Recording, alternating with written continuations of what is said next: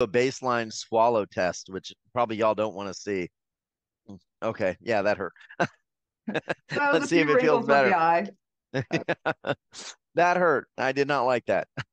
Was oh. Sharon, I want to maybe start with while I have this on my neck, you know, how you got started with this story. Because there may be people that are new here, but you you started to see this in animals, right? And then you realized there was something very powerful going on. You want to start a little bit with that mm. background of how this opened up for you? So my background is actually I am an industrial engineer. I have an engineering degree and a construction management degree. So I was in that world. But I've always had horses in my life. And so I was in a natural horsemanship program to learn how to communicate better with my horse. And through that program, I was introduced to red light therapy, red light only, and a very small pen that was being used specifically to work on acupressure points.